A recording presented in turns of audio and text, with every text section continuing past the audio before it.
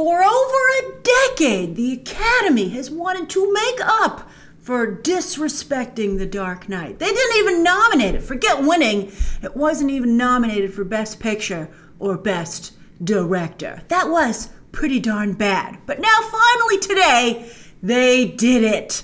And yes, after a long road for DC movies, some of it their own making, to be fair, DC finally roared back to life today with sweet, sweet vindication from the Academy, getting the most nominations of any film this year with 11. And there's actually a strong chance they might win some of these. And the big ones, too. That's going to be the real, that's going to be what really makes uh, history.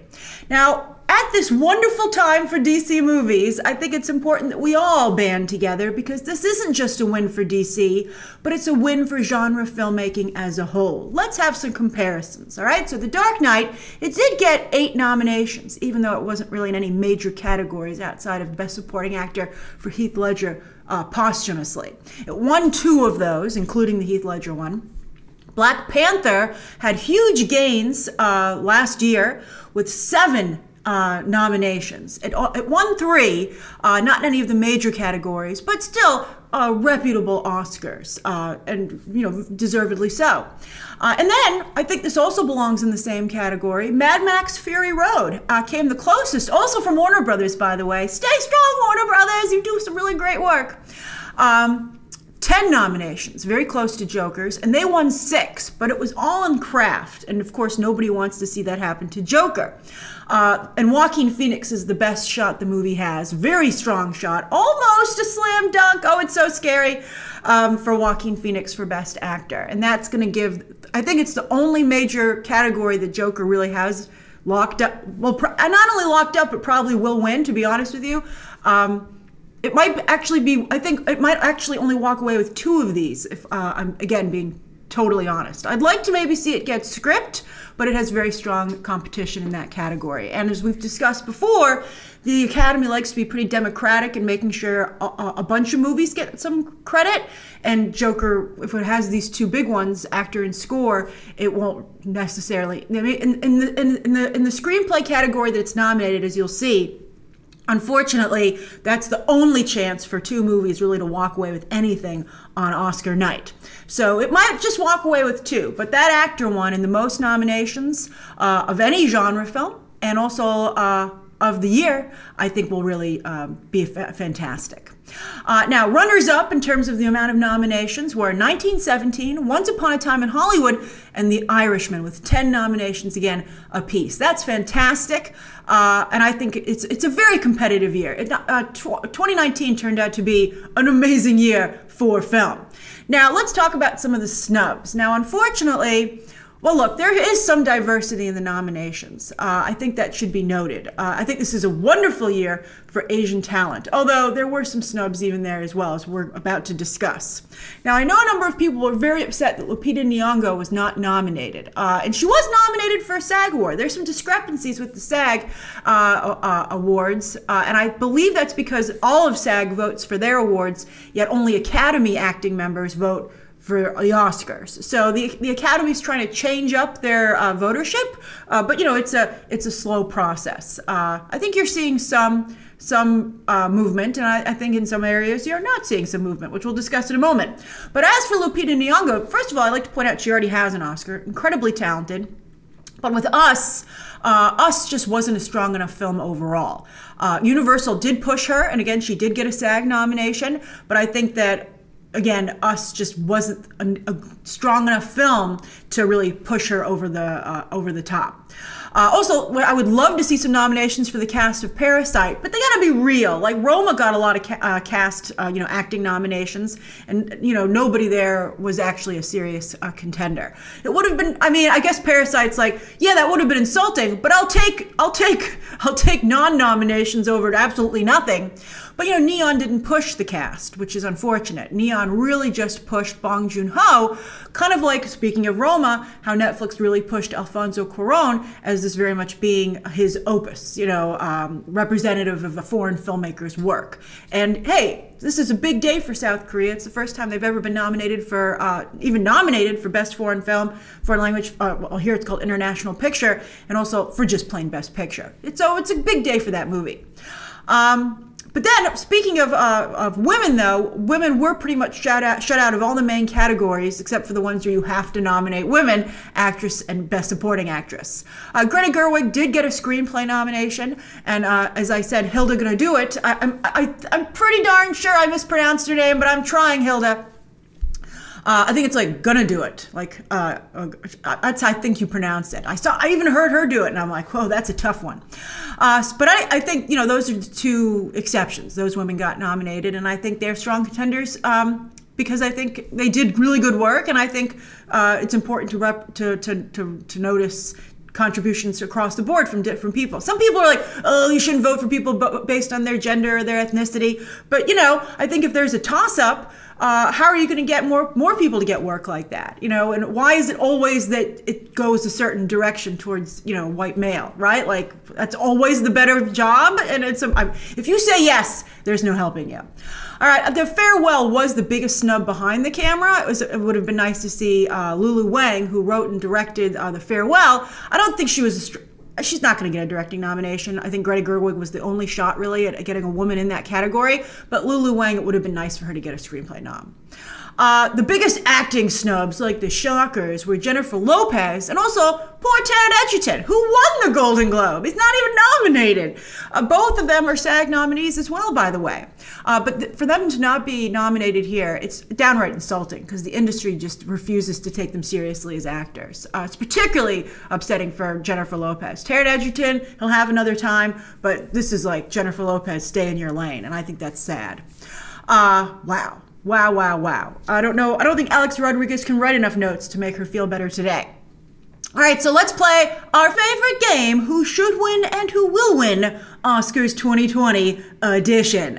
Uh, I'm going to share my thoughts on each of the major categories, well, almost all the categories uh, right now, and I invite you to share your own uh, hopes and dreams and uh, harsh realities that you think exist down below in the comments. And there are chapter times in the video description if there's a certain category you want to get to right away. But of course, we're going to start with Best Picture. There are one, two, three, four, uh, nine nominees. Let's see, one, two, three, four, five. Yep, nine nominees. They could go up to 10. And I think, you know, if you can go up to 10, you might as well throw, throw some movie a bone, man. Uh, now, as for who, who should win, I feel very strongly it should be Joker or Parasite. Why? Well, these are all great movies. But uh, to be honest with you, I feel that Joker and Parasite address a very big problem that's going on today. Uh, the 99% versus the 1%, that's always been a struggle throughout history, the haves versus the have nots. But I think it's really reaching a breaking point, which both those movies uh, do a, a, fabulous job of underscoring. And those movies really have spoken to the general populace, particularly Joker. Joker really should win. Um, but I think people are a little bit afraid of it. I think people are a little bit afraid of, um, you know, I think unfortunately it's the 1% who vote for these awards. And they're like, let's not give anyone any ideas. And I'm like, you fools, they already have the ideas. You should really acknowledge that you recognize it that you recognize that there's a problem. It's very, it's very bad. Every time the Joker gets snubbed, um, it just underscores what the movie is saying, right? Thomas Wayne would not vote for it for Best Picture. So and it's so I, I, mean these other movies are very good, but we've seen them before. Hollywood's made this type of movie before, so it's a little bit like La La Land versus Moonlight. La La Land, oh, it's wonderful. It celebrates Hollywood, just like Once Upon a Time in Hollywood. Hollywood loves to celebrate itself. But Moonlight was really important to not only because it was an LGBT story, but an LGBT story of color, which Hollywood has not done a very good job of depicting and showing that representation. So that's why Moonlight was such an important win. But I don't know if the Academy is going to do the right thing, voting, uh, voting for Joker or Parasite. I believe it's down to the two Golden Globe winners, 1917 and Once Upon a Time in Hollywood. And this is why voting, this is how voting is affected. Because when I voted for the Critics' Choice, some of you were like, why didn't you vote for Joker? Well, I think, as I said, I think it's honestly down to 1917 versus Once Upon a Time in Hollywood. And I don't want Once Upon a Time in Hollywood to win. I actually think it should and will win in some other categories. But what it did to Bruce Lee and the horrible, offensive way it depicts women, from sidelining Sharon Tate in her own story to showing all the women snoring like pigs in their sleep, it's really appalling. And so for that to be Best Picture, I have problems with that. Uh, also, the whole question about Brad Pitt's character and his wife, that's Best Picture.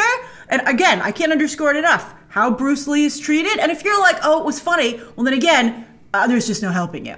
Uh, if you can't see what's wrong with that movie while still appreciating it, that's sad. All right, so, but I do believe it will be 1917 or Once Upon a Time in Hollywood. All right, so next up, Best Actor. Joaquin Phoenix. It's his to lose, if he, especially because Taron Egerton now isn't even in the category. I could maybe see Adam Driver as an upset or Antonio Banderas if there's like some, because you never know. You never know. But I think Joaquin Phoenix should obviously win and will win. I mean, it's a strong category. Adam Driver is very good. Um, uh, Antonio Banderas is very talented. I unfortunately haven't seen that film, that particular film, uh, but it's really Joaquin Phoenix's, and he deserves it. It's his time. Uh, you know, it's his fourth nomination. He's he's never won. It's, this is he's he's lined up beautifully, even if it wasn't a comic book movie for a win. And as I've said before in my video about this, I think that's helping him. Uh, then, as for actress, oh, I'm so upset about this. Uh, we'll know for sure who's going to win with the SAG Awards, right? Um, but I mean, I'm glad Cynthia Erivo's uh, nominated. I thought Harriet was a fantastic film, and I think everyone should see it. And I think this helps the fact, I think this helps make sure everybody sees that movie. But Renee Zellweger is going to win this, which I think is horrible. She already has an Oscar. Uh, I think that Judy is such a tired role. I mean, it, you know, oh, a moment in someone's uh, of a star's life. I mean, she does a nice job, but it's not. Again, it's not anything new. It's the same old, same old. And I think that other people are doing, uh, other actresses are doing much more exciting stuff in this category. So I think Renee Zellweger, unfortunately, will win, but I think anyone else in the category should win. But if I had, if I had my druthers, I would pick Scarlett Johansson. She's a double nominee, so maybe there will be an upset because she's also in uh, Best Supporting. But we'll see how bad those comments were that she made about Woody Allen and that she should be able to play a tree if she wants to. Good thing trees don't have Twitter. Um, but everyone else took care of it. Don't worry, trees. Uh, but yeah, I think Scarlett Johansson, her work in Marriage Story was so good that it rises above her comments. But I think it seems other people don't agree because she really, I think, should be winning. And if she's not, it's got to be the comments. Uh, cause she, and she's like the biggest grossing act. I mean, it's largely because she's in the Marvel movies, but still, she's doing a lot for women in Hollywood. Um, except when she opens her mouth and it's not a line someone else wrote for her. okay. But I would like, I think she, I, even with all that, I think she still deserves to win. But Saoirse Ronan is, is uh, amazing in Little Women. Charlize Theron already has an Oscar, but she's she's amazing in Bombshell. And as I said, Cynthia Erivo is fantastic. Cynthia Erivo, some of you really dislike her, and I understand because of the co- unfortunate comments that she made on Twitter a while, a long time ago. Um, but really, I mean, she's doing such amazing work and breaking such wonderful ground uh, on many different mediums right now. Um, I wonder if people are just going to fight her every step of the way. Uh, all right, we'll see what happens. All right, so next up, uh, supporting actor Brad Pitt. Brad Pitt's going to win, um, and I think he should win. I'm a big fan of Brad Pitt. I think he had an amazing year. Uh, he has an amazing career, not only in front of the camera, but behind the camera. He is a phenomenal producer. I just rewatched The Departed the other night, which itself was a huge Oscar uh, winner, and Brad Pitt produced that. I mean, he's amazing. Uh, I really, you know, he so he has an Oscar for 12 Years a Slave personally for, um, you know, you can only put so many names on uh, on the to, to get the Oscar for a picture. So even though he produced The Departed, he didn't personally get an Oscar for that. But he did for what 12, uh, 12 Years a Slave, and he deserves an acting Oscar. And so I think everyone feels that this is his year. And I think there's also a real desire to support him after the way Angelina Jolie treated him and tried to slander his image. Um, so I think the industry, because remember they applauded for him right afterwards when he came to present the Golden Globes like a year or so ago. I think the industry really wants to really is well is really looking after their own, and and they should. A phenomenal year for him. Once upon a time, I wanted Joe Pesci to win this, but Brad Pitt has all the momentum, and he's so I think he will and should win. Uh, supporting actress. Uh, both Black Widows are nominated here. Kevin Feige's like, yes, all right. Uh, this is great for Florence Pugh's career. She pew pew. Uh, she got a bullseye here. She'll be uh, working forever because of this, and she deserves to. Her work in Little Women is phenomenal. I'm very excited to see both her and Scarlett Johansson in Black Widow, which now just became an acting tour de force film. And I'd like to point out you know, Margot Robbie surrounded herself with actresses that aren't quite at the same level in uh, Birds of Prey, whereas Scarlett Johansson, although Scarlett Johansson isn't producing Black Widow, but she has very high caliber talent with uh, Florence Pugh and Rachel Weisz alongside her in that film.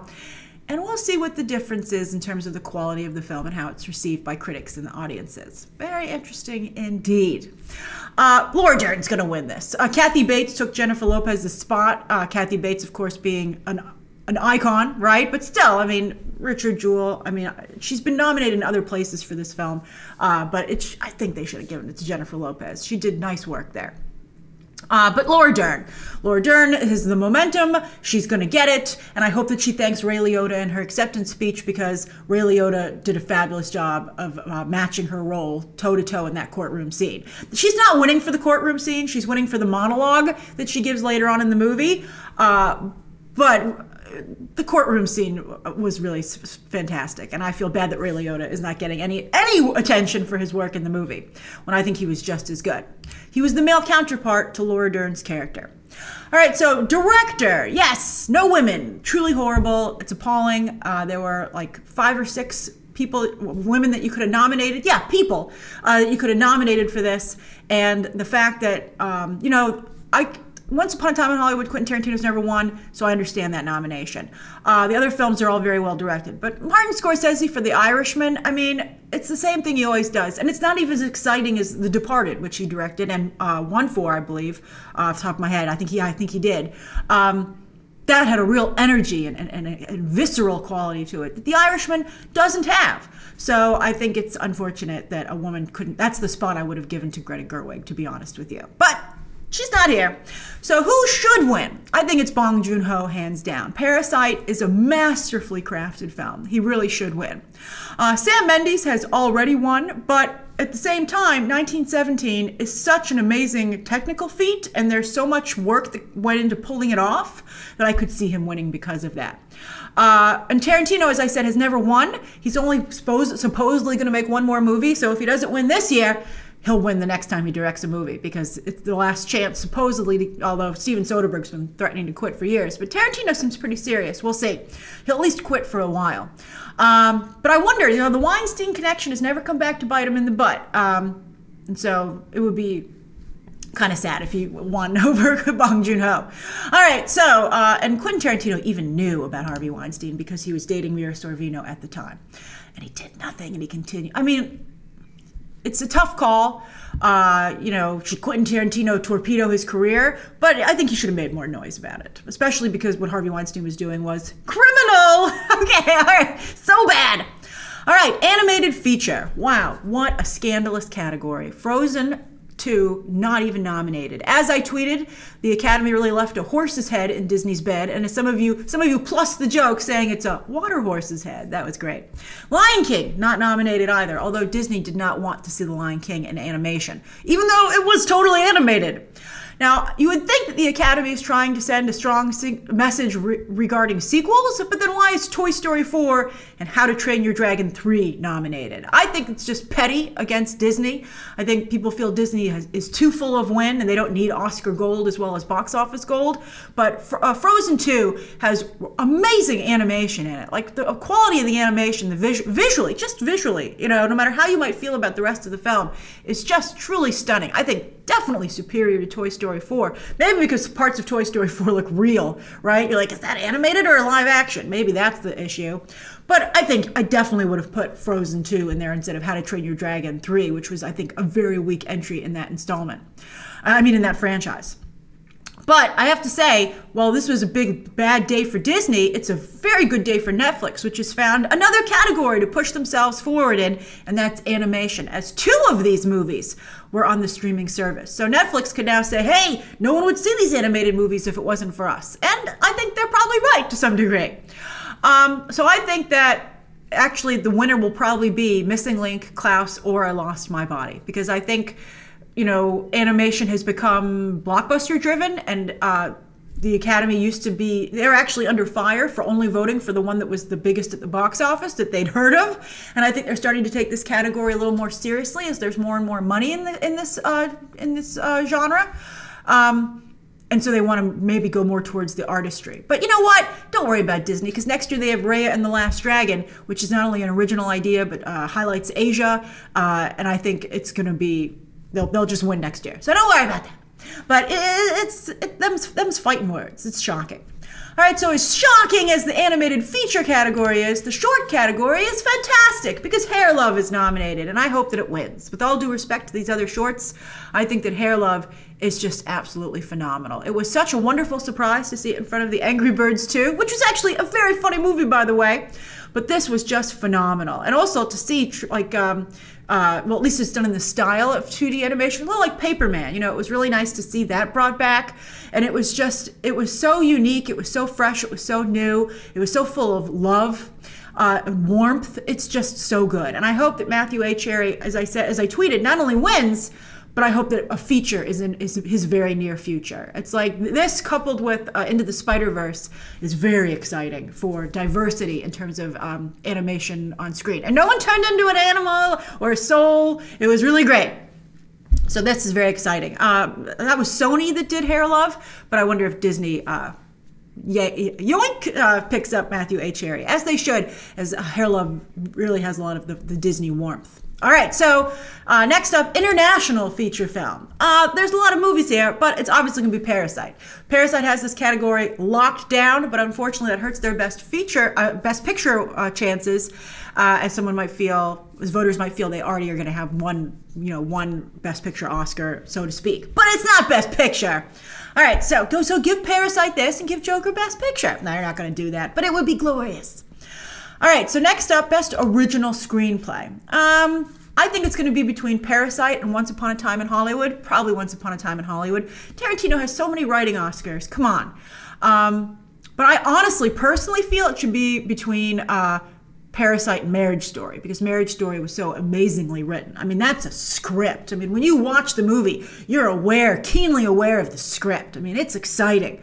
Uh, and it's oh, by the way, it's very nice to see Rian Johnson's Knives Out uh, nominated. It's sole nomination. I don't think he got production design. Um, let me check really fast. Uh, well, we'll get to that category, but I, yeah, I don't. Uh, yeah, it's not in production design, uh, which is weird because it had the best production design. But screenplay, that's very nice for Rian Johnson. He gets to go to the Oscars, and uh, we've discussed recently he's already working on writing writing the sequel. All right, uh, so let's see here. Next up is Best Adapted Screenplay. I gotta tell you, I strongly feel that Avengers Endgame should be here. The way that that stitched together a decade of filmmaking and did it just so seamlessly, I thought was very impressive. And some of you might be like, I know some of you are like, that movie's full of uh, plot holes, Grace. Well, I wasn't aware of any of them while I was watching the movie. Nobody really was, unless you're a hater. Uh, and so I think the movie really pulled off an, an amazing feat. And I, I think, I don't think it would win, but it deserves to be nominated. But it's not. Now, as for who is nominated, this category is pretty wide open. Now, I'd love to see Joker win because I thought that script was absolutely phenomenal. But as I said at the beginning of this video, I feel that this is the only chance for both Little Women and Jojo Rabbit to take home some gold. Taika Waititi is an industry darling, and I think that many people in the industry would like to see. Jojo Rabbit didn't plus his career, I think, quite as he hoped, but I don't think anyone wants to feel that he got dinged by it, right? So it would be nice to see him go up there and accept an Oscar. But at the same time, let's get some women on the board for Pete's sake. And I think Greta Gerwig, it's such a labor of love. One of her like her favorite book, she reinvented it and reinvigorated it and made it more accessible than ever before. I mean, it was a true and the way she uh, changed the book and stitched two volumes together and told it out of order. I mean, she just did an amazing job. And so I feel, I think Little Women probably will win. And to be honest with you, I agree that it should win. I mean, as much as I love Joker, Little Women was amazing. Uh, now, for Best Original Song, woo, Into the Unknown is in here. Woo, thank goodness. But I, sadly, I don't actually think it should win. Uh, and I don't think that it will win. I think that Elton John will win because who's not going to vote for Elton John, right? Uh, but I personally, I think that uh, Stand Up from Harriet should win. I thought Harriet was, a, again, a phenomenal film, and I'd like to see it take something home. Best score. As I said before, I think that uh, Joker, Hilda uh, Guðnadóttir, is going to definitely win. Uh, but you never know. She she is not the first woman here to be nominated or win. There are seven women nominated in the past and three previous winners. So that takes away a little bit of her edge. It would be. I mean, she has the momentum. Uh, but you never know. I think that 1917 and Little Women both have excellent scores, particularly 1917. So there is a small chance for an upset there. But I think odds are uh, with Hilda uh, Guðnadóttir. Uh, oh, that name is so hard to pronounce. Okay, then cinematography, 1917. I mean, it's nice that the lighthouse was recognized here. I think that's lovely. But 1917 is just an incredible technological feat. In fact, I think it's going to sweep the tech- technical nominations. Um, in fact, that's why uh, next up, visual effects. I would actually say that it's going to take this as well. Now, of course, Avengers Endgame has phenomenal visual effects, and uh, so does The Lion King, which is just one giant visual effect.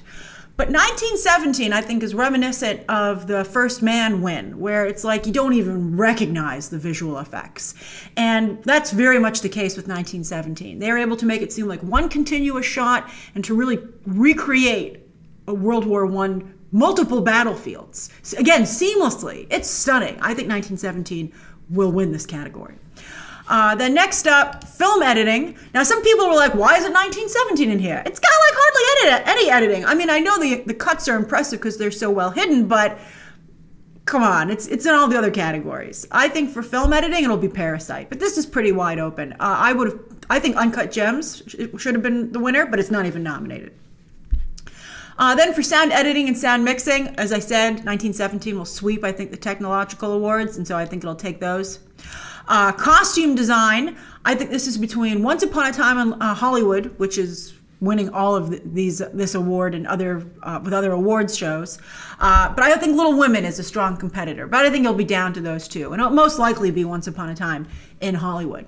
Now, as for production design, now I personally feel that Parasite, which is phenomenally well designed, uh, or 1917 should win. 1917 again for what they were able to create. A lot of that actually physically built. It's an amazing mix of VFX and practical um, sets. Uh, I think that those two, I have to say, I kind of almost want to give the edge to 1917 because, again, of what they accomplished. But I think Once Upon a Time in Hollywood, because, again, Hollywood loves to celebrate Hollywood, is real competition here. So I think it's between those three. I still give the edge to 1917. That's just phenomenal. They might feel that there's enough technological uh, wins for that film, so they might still give it to Once Upon a Time in Hollywood. Parasite should be more of a contender here. Uh, hair and makeup, bombshell. I mean, they turned Charlize Theron into Megyn Kelly. She's it's it's going to win for sure.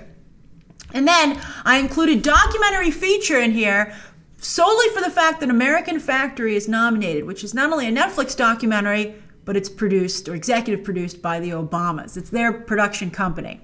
So I wonder if the Obamas will be at the Oscars. Uh, you know, Apple sent Tim Cook to the Golden Globes, so they might go. That would be amazing. They are going to dominate the red carpet if they go. I wonder what Michelle will wear. All right, so anyway, what do you think of the Oscar nominations? Again, share your thoughts down below. Subscribe today. And of course, as always, you can check out some more videos right now.